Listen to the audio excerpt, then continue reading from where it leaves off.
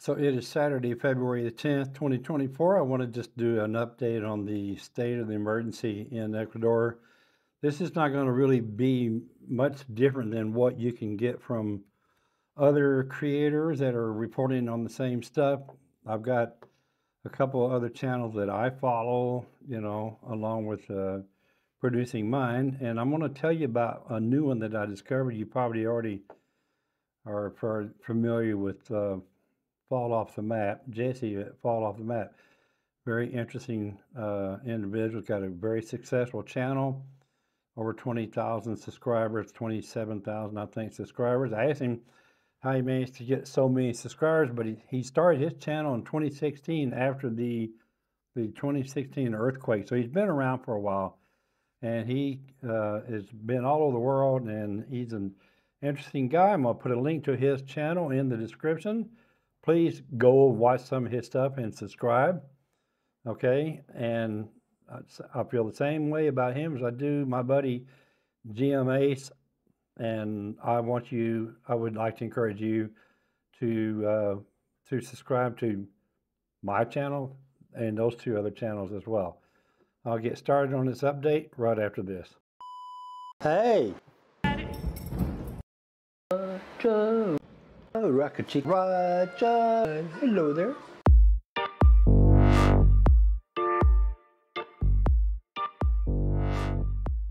So, this is this update's about the state of the emergency in Ecuador. I mean, I, have got really uh, some interesting news. I've actually got some data.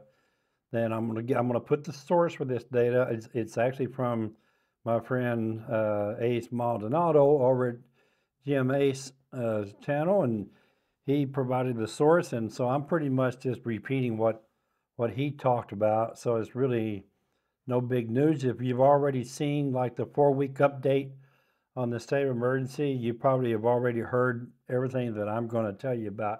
But here, so so far since the start of the state of the emergency the government forces have accomplished the following. I'm really quite impressed by this. They've so far they've they've seized uh, over 103,000 pounds of drugs.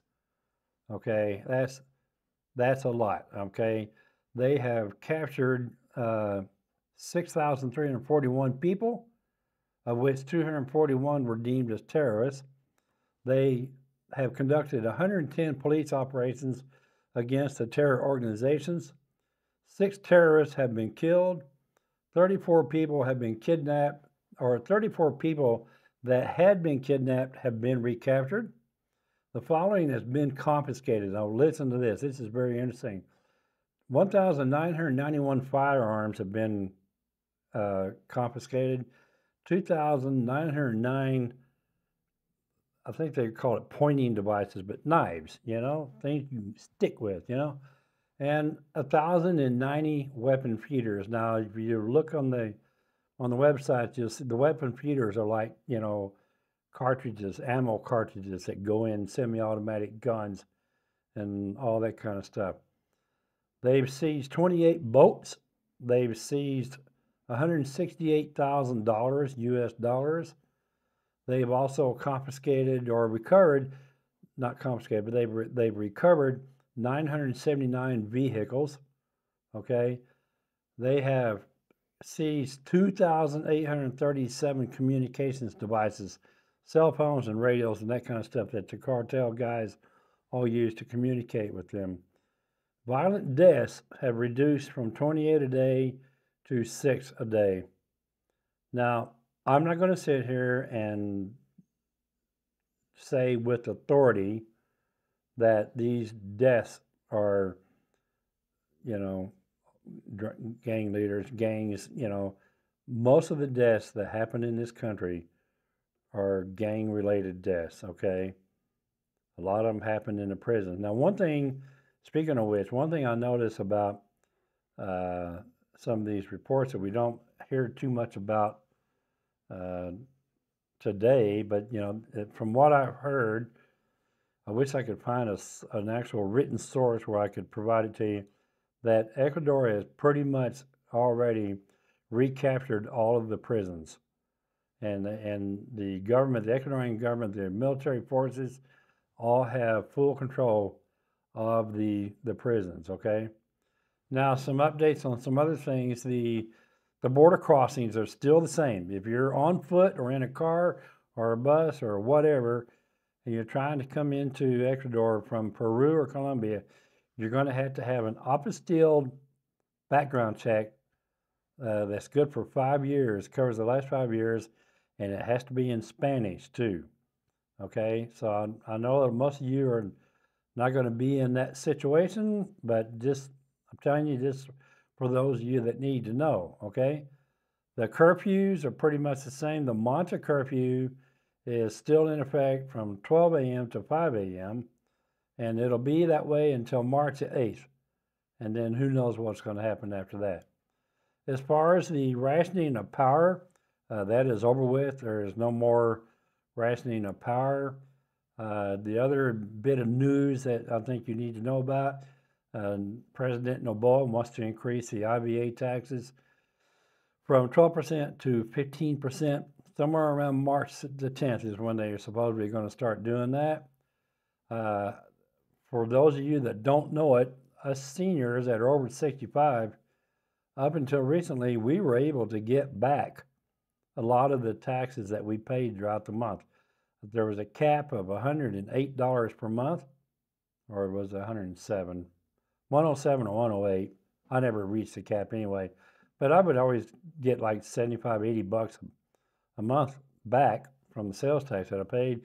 They've stopped doing that. They have not. I have not received a refund now in in three months. So let me just kind of go through the list here and make sure there's not something that I've left out.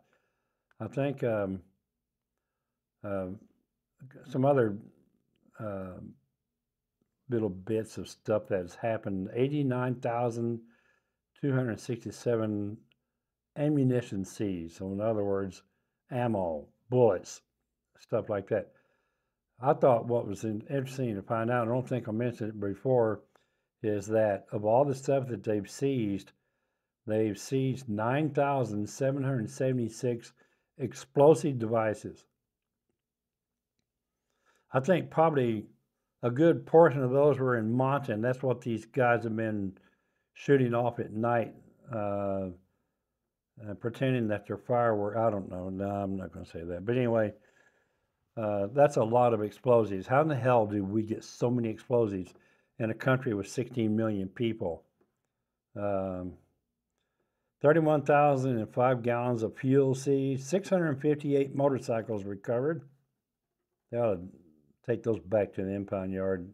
Too damn many motorcycles on the streets anyway. Especially these guys that are driving them. They don't they don't have licenses. They, uh, you can't tell me they took driving courses and know even know how to drive a motorcycle. But anyway, that's just the way I feel about it. And I think that's about it. Okay, so that's it. That's all I've got for you.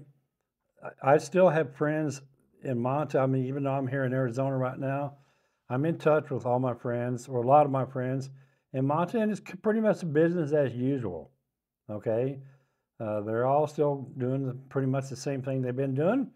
Most of the people, you know, my age range, we're not out after midnight anyway. And if you are, you shouldn't be. Okay, even in the states, you need to be sleeping at that time. So that's all I got for now. Thanks for watching this channel. If you like this channel, please subscribe. If you like this video, smash that thumbs up button. If you don't like this video, well, I don't blame you, but you can still bite me, okay? And I say that with peace and love, okay? I'll see you on the next one. Ciao, ciao.